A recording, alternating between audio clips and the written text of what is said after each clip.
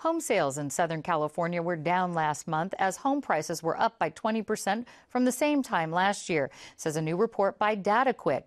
Joining me with a closer look at San Diego's housing market in 2014 are real estate economist and market researcher Alan Nevin and Alan Gin, economics professor and author of USD's Index of Leading Economic Indicators. Welcome back. Thank you. Thank you. Alan Gin, let's start with you. The Federal Reserve is expected to raise interest rates. If they do so this coming year, what kind of impact could that have on San Diego County's uh, housing market? I think that uh, it won't help uh, because it'll make uh, the cost of buying homes uh, higher. But uh, rates will still be near historic lows, so so I don't think it's going to be enough to derail the uh, the rebound in the housing market. Who would be impacted most by this? Uh, are we talking about lower to middle pe income people who are trying to buy that price range, or are higher higher people or across the board evenly? I think uh, it'll impact all, all buyers, but uh, particularly people at the lower end where where they're just scraping by for to, to, to afford uh, their their monthly payments on housing. I see. Okay, and Alan Nevin, how important is resale uh, to San Diego's uh, the resale market in housing to San Diego's overall housing recovery? Well, as we're not building many new ones, it's really paramount in, in, in where we, we will sell this year about 40,000 resale units, which is really quite good, and do the same next year as well. What do you expect to see as far as um, in these resales? Do you think with the interest rates going up that it's going to be more of a, a seller's market?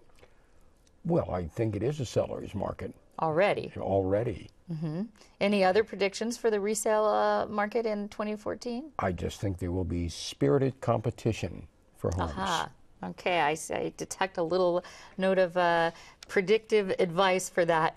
Alan Gin, um, where do we currently stand as far as the number of foreclosures here in the San Diego market? They're down considerably. Uh, what's what's happened is that a lot of the distressed homes were were foreclosed on uh, early in, in the downturn. But what's happened now is that with ho housing prices rising as rapidly as they are, now we have fewer people who are under, uh, underwater in terms of their mortgage, and so they're holding on to their homes. And even if even if you're still underwater, you see these these prices rising. You have hope that that they'll that they might rise enough to, to put you back uh, uh, above water. And so as a result, there's been a big drop in terms of distressed properties, and that's reduced the supply of uh, single-family housing on the market. Do you think that uh, once the, the market rates do come back up as far as foreclosures, or, or um, I don't want to say foreclosures, but people considering short sales, that they might say, now's the time, we've been waiting, like the second the, uh, the balance is tipped, that these people will turn around and sell their houses? It's, it's possible. And so at that point, there will be more houses than uh, on the market. But uh, again, they won't be at the distress levels uh, that, that we saw uh, just a couple of years ago. Okay. And uh, Alan Nevin, you uh, what have you seen as far as in terms of new construction here in San Diego? Uh, negligible. We're in terms of sale housing. Back when we were doing 9,000 single-family new ones a year, and now we're down at the 2,000 level, and there's no signs that that's coming back because we don't have lots ready to go.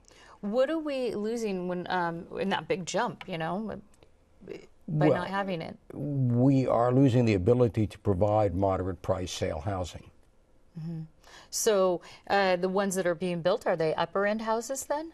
Almost all over 700,000 what does this do as far as our economy? Um, as, as, far as when you don't have home construction, new home constructions like we did before, and it's down this significantly, what kind of impact does it have on our overall economy here? Well, it's a major impact because new home construction has a very large multiplier effect economically and creates a lot of activity. And we are off right now about 40,000 construction jobs from historic highs back in 2006. Okay. And uh, let me start with you, Alan Gin. In a sentence, if you had to say your outlook for San Diego's real estate market in the coming year, what would it be? It's I think we'll have a solid market because the economy is going to do relatively well in 2014. We're going to get good job growth. Interest rates might rise, but still be at, at relatively low levels. Buy if you can? I, I, I would, I, I would say yes. Okay, and Alan Nevin, how about you? Well, I agree with Alan, and the distress is not in the housing market. It's going to be the buyers who are going to be in distress because they're going to find the prices will continue to rise. Okay, Alan Nevin and Alan Gin, thank you so much. It's Thank a you. pleasure.